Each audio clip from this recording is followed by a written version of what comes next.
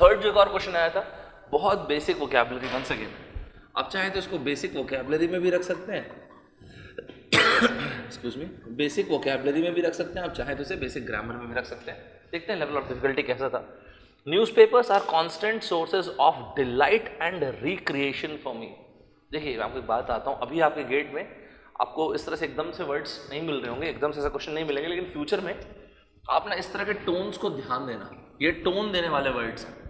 मतलब टोन मतलब newspapers are constant source of something very positive delight and recreation is another positive word तो ये जो इंसान जो भी बोल रहा है न्यूज़पेपर को पॉजिटिव तो न्यूज़पेपर को बहुत से पॉजिटिव तरीके से पोर्ट्रेल कर रहा है उसका।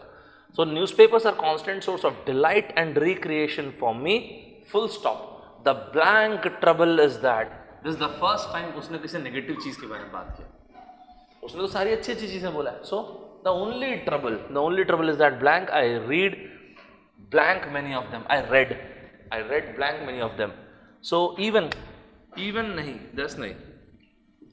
आज इसमें तो खैर कोई आंसर डाउट नहीं होगा, लेकिन आपको मैं इससे अच्छा क्वेश्चन बताता हूँ.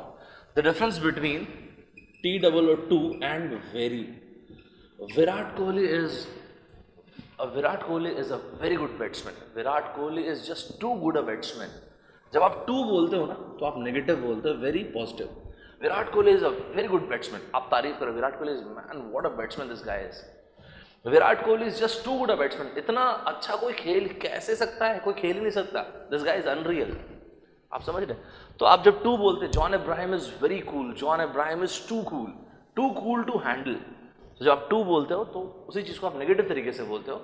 आप ये बोल रहे हो कि विराट कोहली साहब हमारे ही is a very good batsman it's a praise too good praise ही है। टू गुड कहने का मतलब इतना अच्छा खेलने वाला रियल में एग्जिस्ट नहीं कर सकता। एक काम कीजिएगा, आप इन दो वर्ड्स में भी डिफरेंस ढूंढिएगा। रियल एंड ट्रू अगर आप जानते होंगे तो अच्छी बात है, नहीं तो फिर ढूंढिएगा। अगली बार जैसे आपको कोई दोस्त बोलेगा, आपके दोस्त ने आपको बोला, यार I have got fifty marks in C मुझको सी में, आपके क्लास टेस्ट में कॉलेज में पचास नंबर मिले। तो आप क्या पूछोगे? इज़ इट रियल या is it true is it real आप जब बोलते हो तो रियल मतलब एग्जिस्टेंस के बारे में बात करते तो it's not about existence it's about truth मतलब ट्रुथफुलनेस के बारे में आप बात कर is it true you got fifty marks is it true real when you talk about existence जैसे एग्जिस्टेंस के बारे में God do God really exist ghost भूत, पिशाच एग्जिस्ट करते हैं? Do they really exist so real in terms of technical existence on the contrary true is truthfulness दोनों का यूसेज देखिएगा, बहुत बढ़िया है तो आपने न्यूज़पेपर के बारे में पहले बढ़िया पॉजिटिव चीज़ें बोला और आपने बोला जरा सा the slight difficult the slight problem is the only trouble these two are very good option is that I read blank of many of them. I read blank many of them. I read quite many of them. Too many of them. You need a negative word. You need a negative word. मेरे हिसाब से ये अच्छा question too many of them just too good to handle too many of them quite many of them there is no meaning of this happening.